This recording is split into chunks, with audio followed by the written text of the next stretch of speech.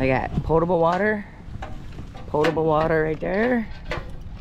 And then they got a dump and rinse water right here. And another dump and rinse water right there. There we go. We got it done right this time.